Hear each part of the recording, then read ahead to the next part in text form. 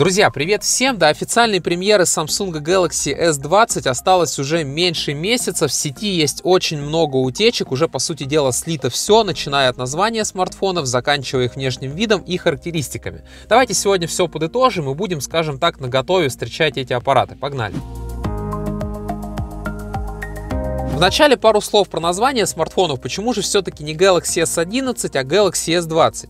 Об этом заявил генеральный директор мобильного подразделения Samsung DJ Koch.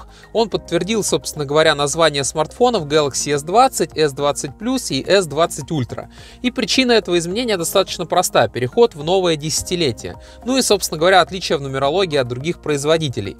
А вот следующие модели будут называться Samsung Galaxy S21, S22, S23, и это достаточно удобно, так как названия совпадают с годом выхода аппарата. Давайте перейдем теперь к внешнему виду смартфонов. Значит, уже хорошо известный нам сетевой информатор под ником Ice Universe, который регулярно публикует интересные сведения о новых смартфонах, выложил официальный рекламный постер Samsung Galaxy S20. Сейчас вы его можете видеть на экране. Судя по габаритам, на картинке показаны 4 копии одной и той же модели. Судя по всему, это обычный Galaxy S20, то есть преемник Galaxy S11e. Как видим, у него экран обычный, без загнутых краев, ну и, соответственно, маленький вырез круглый под фронтальную камеру на манер Galaxy Note 10. Все как и ожидалось. Ранее я напомню, что инсайдер OnLeaks уже выкладывал рендеры смартфона по чертежам, которые утекли из Samsung, но это уже старшая версия, соответственно, S20+. Здесь мы видим экран с загнутыми краями. Также хочется отметить то, что у нас на плюс версии, как и на обычной кнопке питания и громкости, находится с правой стороны. Нету дополнительных никаких кнопок, типа там Bixby. Ну и сзади у нас, конечно же, массивный прямоугольный блок из пяти камер.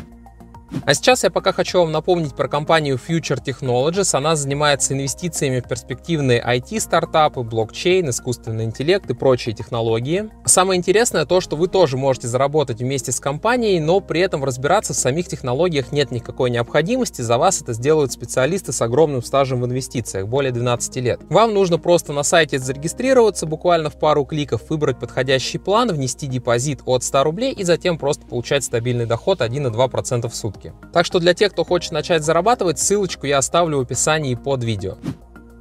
Помимо всего этого, еще известный индийский инсайдер Ишан Рагвал опубликовал на своей страничке в Твиттер изображение всех трех смартфонов серии. На этом фото также подтверждается все вышесказанное про расположение кнопок, ну еще по словам источника, это самые точные рендеры линейки Galaxy S20 от производителя чехлов. Здесь смартфоны показаны только сзади и можно, кстати, сравнить количество камер. Вот получается, что на базовой модели их будет 4, а на старших S20 Plus и S20 Ultra по 5 модулей. Ну хотя, кстати, на S20 Ultra какое-то очень странное расположение, мало в такое верится, но посмотрим, все, конечно, может быть. Если говорить про диагонали экранов, то у базовой модели будет диагональ 6,2 дюйма, S20 Plus получит 6,7 дюйма и S20 Ultra получит диагональ 6,9 дюйма. Материалы корпуса, конечно же, стекло и металл. Теперь давайте перейдем уже к характеристикам смартфонов. Значит, опять же, спасибо OnLeaks. У нас есть табличка с подробными спецификациями всех трех представителей семейства Samsung Galaxy S20, S20 Plus и S20 Ultra камера. Значит, здесь я бы что хотел особо отметить. Ну, во-первых, дисплей. Разрешение будет 2К, конечно же, но что касается 120 Гц, недавно были утечки о том, что все-таки не будет такой частоты, но благо они быстро опроверглись. Вполне возможно, вполне возможно, то, что 120 Гц не будет именно на 2К разрешении, то есть это будет работать только лишь на Full HD+, есть такое предположение тоже по слухам. Но, в общем, в каком-то виде 120 Гц точно будет, и это радует. Дальше у нас идет камера, конечно же, 108 мегапикселей, основной модуль, как и ожидалось осталось. Еще я хотел бы отметить то, что телеобъектив будет на 48, это тоже довольно интересно. Будет, скорее всего, возможность записи видео 8К 30 FPS. Ну и отдельный респект Samsung за то, что увеличили батареи. Теперь в базовой версии смартфона 3730 мАч, побольше все-таки, чем было. На S20 Plus у нас 4300 и на S20 Ultra у нас 4900, почти 5000, и это радует.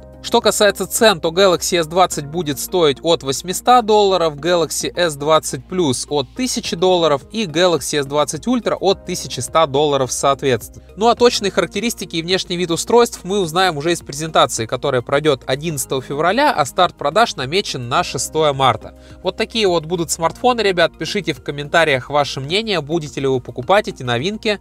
Ну а с вами был Future Time, подписывайтесь на канал.